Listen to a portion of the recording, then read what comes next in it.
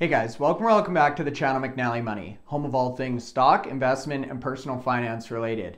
In today's video, we're happy to welcome the president and CEO of WonderFi Technologies, Dean Skurka, who's here to talk about the company, their international expansion, and their platform or services in terms of their portfolio. Now, we've got a lot to go through in today's presentation, so before we do, please take a second, smash the like button, you guys. Big help to myself and the channel. If you're not already subscribed, McNallie Money, feel free to join. And let us know in the comment section below if you're currently using BitBuy or any of the other WonderFi offerings, how you think they're positioned to other players in the crypto space, and your outlook for this sector in the back half of 2024. Now, with that being said, let's get into today's interview.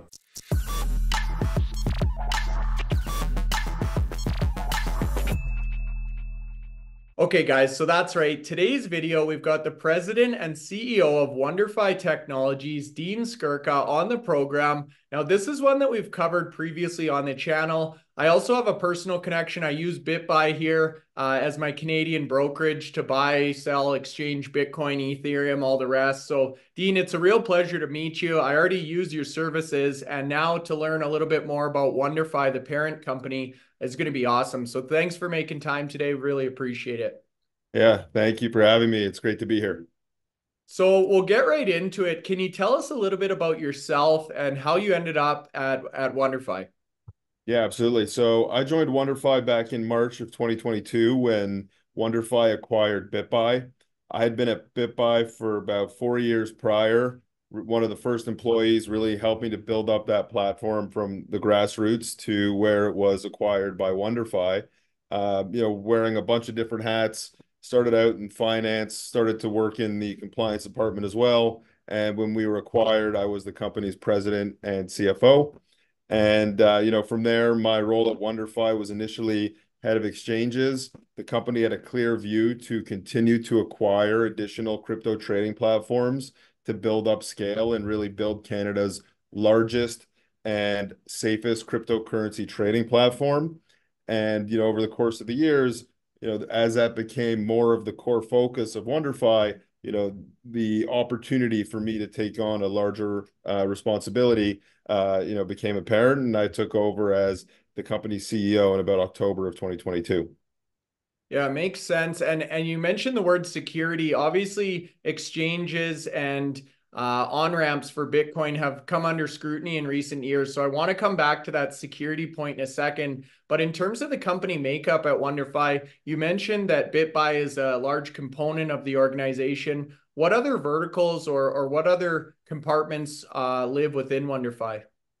Yeah, so we have been primarily focused on the crypto trading segment we have acquired five crypto trading platforms over the last two and a half years, and through that process, we have uh, you know increased WonderFi's user base to over 1.7 million, uh, 1.7 million Canadians, uh, both retail and institutional.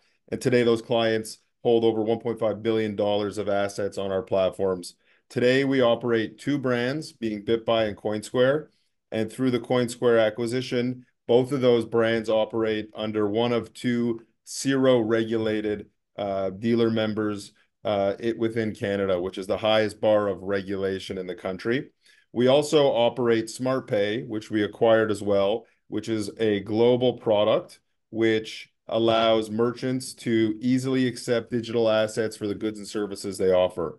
We think crypto payments is an exciting and quickly emerging vertical within the crypto industry, and we're really excited to have a foothold within that. And when you think about, uh, you know, how we plan on growing from here, you know, we have recently announced our expansion into the Australian market through an acquisition we completed a few months ago. We'll have more news on that, you know, very shortly in terms of uh, when we intend to launch and how and which markets we can actually service through that acquisition. And within Canada, you know, we're really focused on rounding out the products and services that we offer, really uh, creating that complementary multi-asset platform where our users can obviously continue to buy and sell the digital assets that we support, stake those assets as well, but also expand those services, you know, perhaps to, um, you know, equities trading and other complementary services that really fit within, you know, a one-stop shop fintech platform. Yeah, it's exciting stuff. I noticed the staking on BitBuy. I've got my Ethereum staked on there now, and I've noticed the growth of, of interest in this sector. Now, you man, uh, mentioned, I think, 1.7 million Canadians in terms of your addressable market at this point or current users. Can you talk to us about adoption here in Canada and in Australia? What are we seeing in terms of the general public and their their level of interest in crypto? Yeah, I'd say Canada has really been an early adopter with respect to digital assets. You know, you think back to the early days, uh, you know, there's a really strong community within Toronto specifically, and to a broader extent in Canada. And, you know, that is self-evidenced by some of the early Ethereum founders being Canadian and, uh, you know, some of the early uh, and exciting protocols and platforms being developed within Canada as well. You know, today about 13% of Canadians own crypto assets. We would expect those numbers to really grow, certainly through uh, the course of this year and into the future as well. And you know, similarly, Australia is another uh, market where there is really strong adoption rates for digital assets. You know, we are fortunate in Canada that there is a clear and concise regulatory framework around crypto trading platforms like BitBuy and CoinSquare and that has also really helped to allow the industry to grow within Canada. You know, that creates a ton of uh, protection for clients, which really instills confidence in them to use platforms like ours to gain exposure to digital assets. So we think that uh, you know high levels of adoption, uh, coupled with a clear and concise regulatory framework, are really fundamental for you know countries to uh, continue to expand uh, their relative interest in the digital asset industry. Certainly, Canada has been a leader in that regard.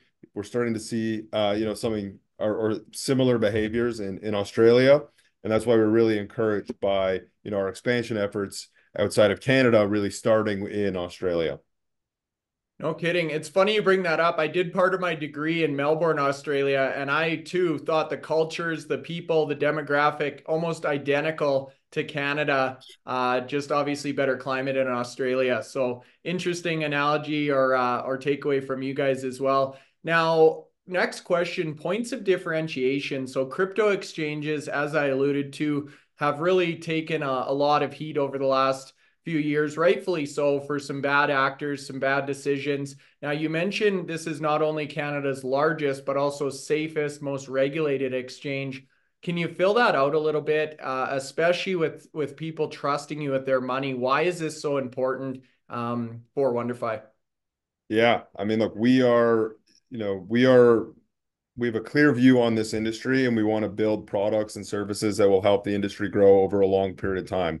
You know, I believe that's been self-evident since my early days in BitBuy. You know, we were, um, you know, uh, fortunate to really build up uh, uh, BitBuy's presence in the Canadian market um, on the back of you know what happened with Quadriga when unfortunately um, you know that platform uh, exposed some of the you know lack of protection that existed in the market at that time and you know BitBuy really wanted to lead with trust and transparency and build that uh, you know reputation and we focused on proof of reserve audits and using best in class uh, custodians and best in class practices around safeguarding assets and and promoting a really safe and stable environment for Canadians to come in and um, you know participate within this industry. You know, I think that itself led to BitBuy being the first marketplace to be um, you know regulated through the initial framework that existed in Canada through the Ontario Securities Commission. And naturally, when we were acquired by WonderFi as a public company, you can imagine, uh, you know, the the you know the onus on being regulatory compliant and ensuring that your businesses are are operating, you know, with best in class protections and best in class policies and procedures. And so that really carried forward through to WonderFi. And you know, every platform we've acquired, we've been able to continue to evolve our offering and really grow our presence as Canada's leader. And with that responsibility becomes, you know, a clear, um, you know, a, a clear importance on regulatory compliance and building things in the right way. You know, staking would be a good example. We had spent six to nine months working with our regulators to understand how staking works, the various infrastructure components that we needed to offer this product, and how we plan to offer this in a way that promoted innovation but also protected consumers. And you know, we think that the regulatory system in Canada has been quite collaborative thus far between industry and regulators. And we've always wanted to be Uh, top of mind for safe and trusted platforms. And when you think about the acquisition that we completed in July of last year, where we acquired Coinsquare, at the time, they were the first and only CIRO, which is formerly IIROC, dealer member for cryptocurrency. And so that really allowed us to take all of the platforms we had uh, acquired previously and consolidate them into that CIRO dealer member, which today is still one of two licenses that exist in the country. And so we have always been mindful on regulatory compliance and building things out in the right way, understanding this is an early, uh, uh, you know, very early stage within the asset class. You know, it's still, you know, 10 10 or so years old, and, you know, really trying to combat some of the, um, you know, some of the uh, you know, some of the common uh, criticisms of the asset class by really trying to provide that safe place for Canadians to interact with this industry. And so, you know, again, um, you know, this has been a focus of ours, will continue to be a focus of ours, and as we look to roll out, you know, additional products and services that we believe Canadians are looking for within this asset class, it's going to be in collaboration with the regulators here to build something and build products that have longevity and will provide Canadians with confidence in terms of the abilities to use these platforms in a safe and compliant manner. Yeah, I love to hear that, especially as a customer on the on the exchange front, and the fact it's refreshing to hear that you're building it the right way from the from the ground up, right? Um, obviously, protecting people's security and and their trust is paramount.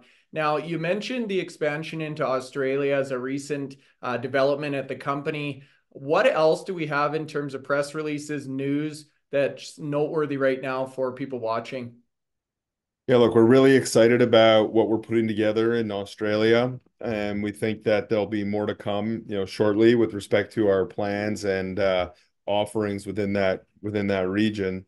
Um, you know, beyond that, as I've mentioned, we have recently completed the migration of the BitBuy platform into the Coinsquare regulated entity, which is a project we've been working on for months. You know, on the back of that, we are now very much focused on the product and how can we just continue to evolve the product and improve the feature set and the functionality that exists on the platform.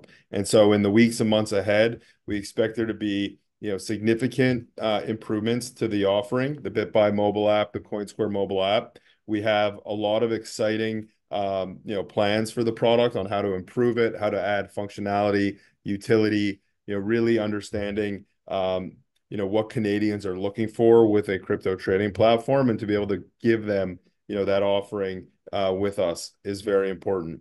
You know, the the industry evolves quite quickly, and you can think about, you know, whether it's DeFi or NFTs or, um, you know, more broadly, products and services like margin and derivatives offerings that globally have significant demand when you look at the broader crypto industry.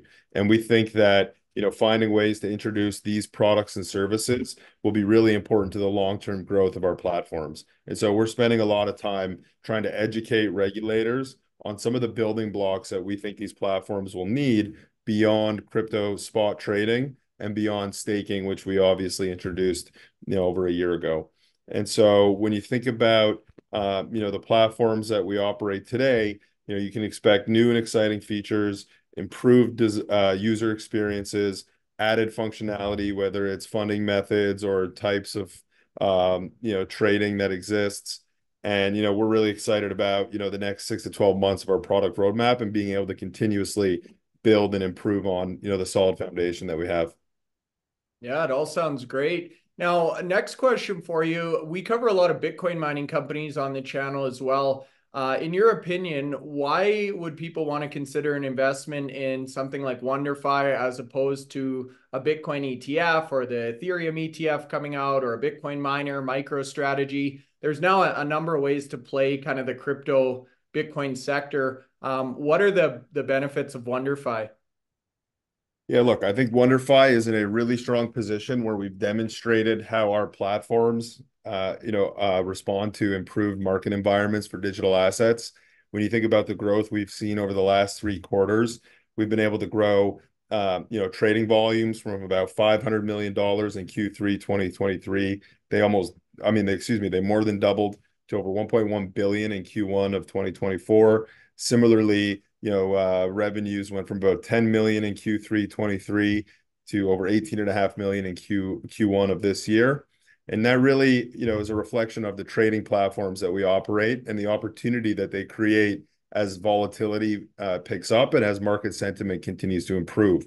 You think about the catalysts that exist in this market, you know, whether it's the successful launch of the Bitcoin ETFs, the Bitcoin halving that recently passed, the upcoming Ethereum ETFs, which many are expecting to, uh, you know, begin trading as early as, uh, you know, first week of July.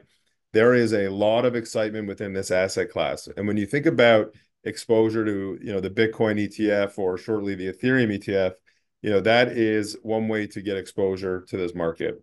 You know, what we typically see is, uh, you know, individuals that buy the Bitcoin ETF, let's say as an example, you know, that's their entry point to this industry.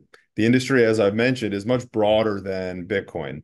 And that is, you know, typically the start of their journey or life cycle. And, you know, quickly, um, you know, leads to an understanding of, well, what is Ethereum? What other layer ones exist? What is a layer two? uh, What are NFTs? What is DeFi?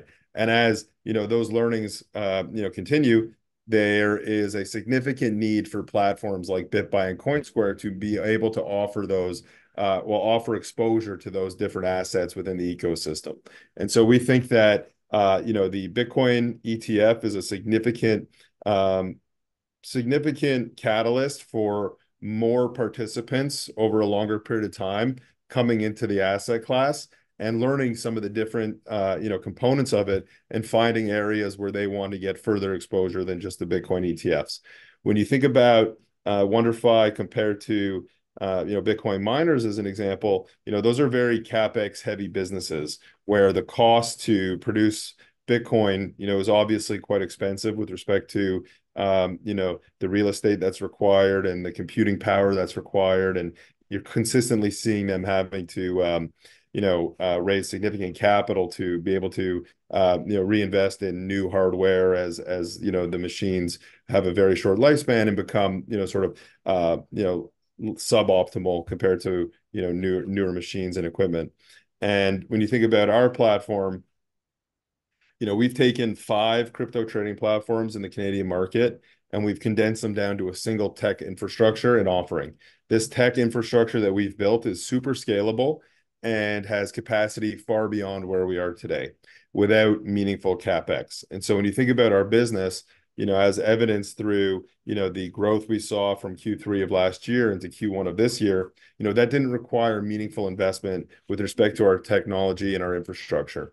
And so that's one of the benefits of our offerings is that, you know, we are, um, you know, we are clearly, uh, you know, benefiting from the scale that is offered through our tech stack and our, you know, exchange. And through that, what we've now established is in a path to global expansion. And so taking everything we've, you know, really perfected in the Canadian market, the understandings that we've gained through operating regulated crypto trading platforms and being able to bring these into new markets like Australia, create meaningful opportunities and again, require limited CapEx because we have the tech and we're able to continue to scale using the technical infrastructure that we have. And when you think about WonderFi, through its consolidation efforts, we have created a market-leading position in the Canadian market. We have a very strong balance sheet that we are, you know, excited to begin and to start investing in, you know, in areas like global expansion. And, you know, we think that our platforms will continue to perform incredibly well as, you know, we enter this next cycle of crypto adoption. And, you know, whether it's on the retail front or our institutional offering or our payment solution, you know, we have done a really good job at diversifying WonderFi from a revenue perspective, from an offering perspective. And we think that it is really complementary for anyone looking to invest in the asset class, uh, you know, in terms of exposure and in terms of comparables from a public market perspective. Sure. Yeah, great response. Really interesting to hear your perspective compared to the miners. As I say, we, we spend a lot of time with them, but great answer there. Uh, very exciting time for the entire sector, specifically WonderFi. It seems as though you've got a, a clear path uh, of growth ahead of you. I'll throw it back to you for any closing thoughts. I know we've covered a lot in today's presentation, but if there's anything we've missed, Dean, uh, feel free to, to throw it in here. And thank you so much for the time. Yeah, no, we appreciate coming out here and happy to come on anytime to uh, provide updates. Certainly, you know, we've got a really strong roadmap ahead of us throughout the rest of this year. Would love to come back and update you on, you know, our progress in Australia and uh, you know the other initiatives that that we're working on. And um, you know, for anybody that's looking for more information on WonderFi, we're available on uh, online at wonder.fi. You can follow us on social and you know feel free to reach out if uh, you have any questions in particular Great. I'll leave the website, the BitBuy link, uh, all the corporate information in the video description below, you guys. If you have any other questions for Dean and the rest of the team at WonderFi, uh, feel free to leave them below. If you're still watching at this point, hopefully you found some value. So hit the like button, you guys. Subscribe to the channel. And uh, Dean, you're more than welcome back anytime. Thanks so much. We'll see you guys tomorrow.